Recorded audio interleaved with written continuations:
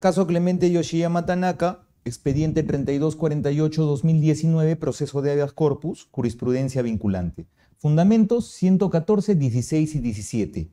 Dice el Tribunal Constitucional que la motivación en bloque de la proporcionalidad en una prisión preventiva no es posible. No sé si te ha pasado que a veces había, por ejemplo, 10 imputados en un requerimiento y había una motivación de media página, es decir, un mismo fundamento de proporcionalidad para todos.